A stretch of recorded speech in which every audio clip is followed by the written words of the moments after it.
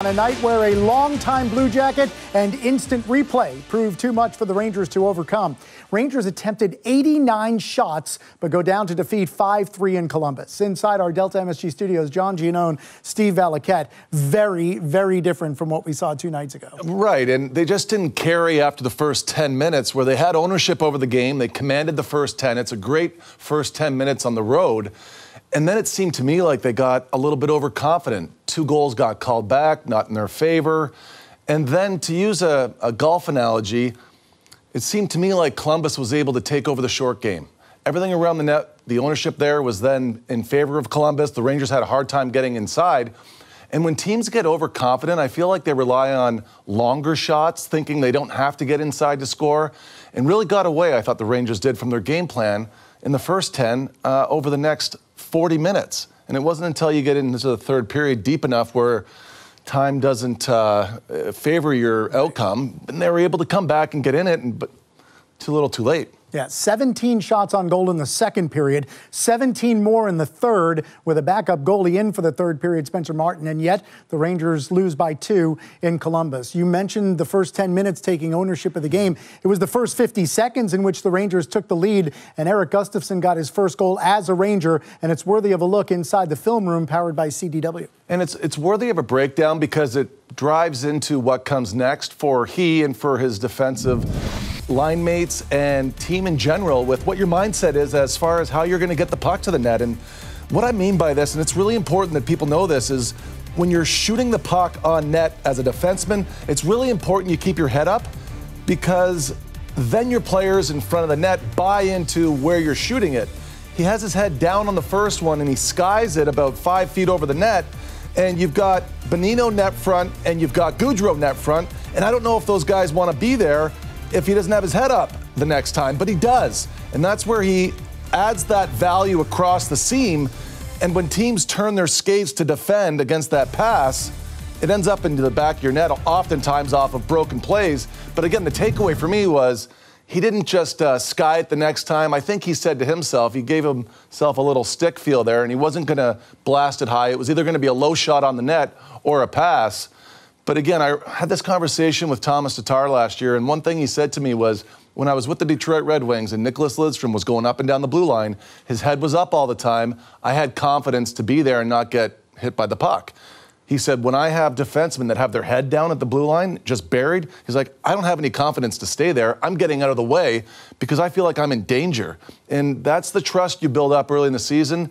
It's, uh, it's a small thing, but I think it does have value over time. So Gustafsson playing first pair minutes tonight alongside Adam Fox because of Ryan Lindgren's upper body injury. That gave the Rangers a 1 0 lead, his first goal as a Ranger.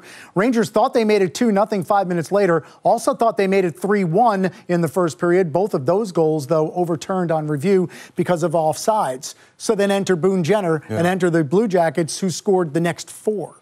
So Boone Jenner is that guy. He is to the Columbus Blue Jackets the way that Kreider is to the Rangers or Anders Lee is to the Islanders. They're very good and top net front guys, and they go there direct on straight lines. Big, heavy player. He's their captain for a reason. Uh, they didn't have a good outing in their first game against the Flyers. I'm sure a lot of this went on his back, being that it's at home again. And y- you wonder if maybe the Rangers didn't suspect that they were going to have this push because it was a long lasting push, a push that lasted the entire second period where Columbus took over the game and the Rangers seemed flat footed and maybe let their guard down a little bit. And, you know, you go through this sometimes as a team where you think you have everything taken care of. And it's a double edged sword when you're playing a weaker opponent because the Rangers probably think at that point, uh, it's going to be point night, it's going to come easy to us. And it doesn't. It never works out that way. There's no easy opponents. But, uh, you know, you hope they learn their lesson from this one, Joe. Yeah, we saw that happen last year in game six of the season at the Garden. Rangers lost 5 1 to the Columbus Blue Jackets, who ended up finishing 31st in the NHL. So that made it 4 1. Rangers trailed after two periods. The third period shot totals were 17 to 2 shots on goal. And we saw Elvis Merzlikins not come out for the third period, mm-hmm. so Spencer Martin stepped in. Rangers did everything they possibly could to try to make up that three goal deficit. Will Cuylle scored his first NHL goal, but in the end, not enough. Many chances, a lot of wide open nets, but were you sharp enough? To be able to execute at that point after having such a bad second period. They had the skill to get in, they had ownership over the puck in the zone, they were all over the place and plenty of scoring chances, but no execution, right? And, and that's where you're kind of saying, okay, well, where are we as a team right now? It was nice to see, uh, you know, the few chances that they did get had some in, inner slot chances. After a few longer shots from the point, uh, Will Cuylle gets inside to the middle ice, and he's able to find uh, the puck. But I thought that they made the Rangers did. They made the Columbus Blue Jackets scramble to a certain degree, and the goalie was rolling all over the place. Found a way to get into the game, and for the Rangers being able to have that amount of pressure, Cuylle's able to get his first goal, which is great to see for him. Another confidence boost for him. A few more big saves from Spencer Martin, who was spreading out to make saves. He came out of form to be able to try and make anything happen that he could. This is the first shot of the third period for Igor Shesterkin, and I can't think of uh, you know a worse way to start a third period for him as the puck goes across the ice. He has no chance, and then on the power play, Kreider's able to get one back. But again, too little, too late. It's 5-3, and the Rangers are in a tough spot. And you know, I, I do know that this is the narrative that was going around the team at this time last year too. It started off this way. Again, there was seven games they gave up.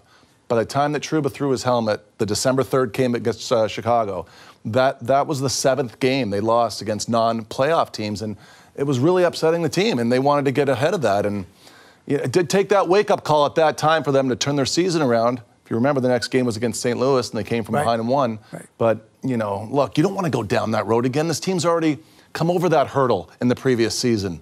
You know, I don't want them to go through that again. I don't think they need to. The, the, core group is the same. They should know better. Well, the response will come on Monday at the Garden home opener against the Arizona Coyotes. Pride was the prevalent theme after Thursday's win in Buffalo, a very different emotion tonight. Let's listen to Adam Fox's reaction after the 5 3 loss. A weird first period, two disallowed goals, and then obviously their goal that you know took some time to review too. Uh, and then I think it just became a little too run and gun. I think you know we were getting a lot of good looks and uh, but equally giving up a lot of good looks. So uh, just just lost that, that tightness we had and uh, dug ourselves a little too deep of a hole. So what do you feel like the differences were between what you guys were able to do so effectively last game versus tonight? I think definitely limit the the grade A chances. I think uh, you know we were letting them come in off the rush and uh, you know get good looks and uh, you know some odd man rushes and breakaway here and there. So you know you give team enough chances like that, they're going to capitalize. So uh, yeah, I thought it just got away from us. Uh, like you said, after that first period, it was a little weird and seemed to lose our rhythm a little bit. And that being said, given the way that you guys were able to put something together in the third period, does feel like you can build on that going back home? Yeah, like I said, I thought we had a lot of chances. Uh, you know, especially in that third period. You know, even in the second, I thought we had a lot of good looks. Uh, they just got some some big saves, and then uh, you know they get one, and you kind of kill your momentum a little bit. But uh, yeah, overall, just got to tighten it up. But I thought we had a, a lot of good looks as well. Adam, in the first period.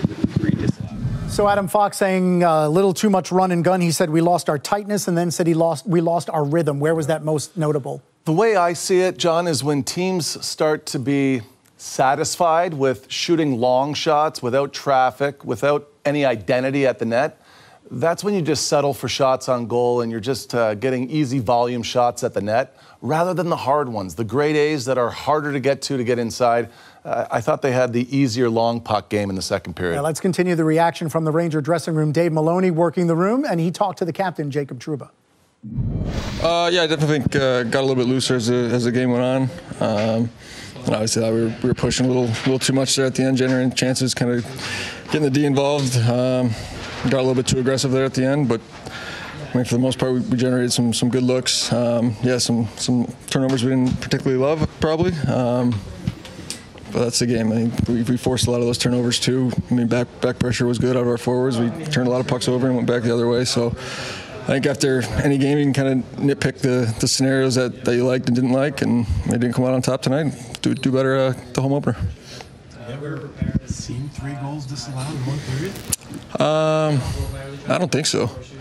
I don't know. I try not to remember the disallowed goals. Um, I don't. know. Yeah, but it's just kind of a, a, choppy first period with the reviews. Kind of breaks things up. But uh, I mean, were, I thought they were all the, the right calls. Yeah, I mean, you guys If you get that field goal, I mean, it looks like it's two nothing, and then all of a sudden everything just changes. Yeah, I mean, you could say that a lot of points. You say I, I score mine, it's four three. It's a different game at that point. Um, so I mean, you can always look back on, on those opportunities, what could have been, but it is what it is. You got to move on, move on and play the game that's uh, that's in front of you. So those things don't happen or don't go in, don't get the break, whatever it is. Uh, you got to move on and continue playing the game. You come on the road, first two games, I'm sure you would have loved to sweep it, but you, you go back one on one. Is that okay? Yeah, we'd like to be two and zero, but uh, I thought we were building building trust in our game. I think we're first game we, we liked our game a lot. Today, I thought we saw some some things we didn't like as much that, that we can clean up and focus on and continue to, to build our game. I think it's uh, still. I won't say new, but some, we're still learning this a little bit and kind of getting the feel for it. And you're going to get in different scenarios, situations, um, and we'll get more and more comfortable as we go.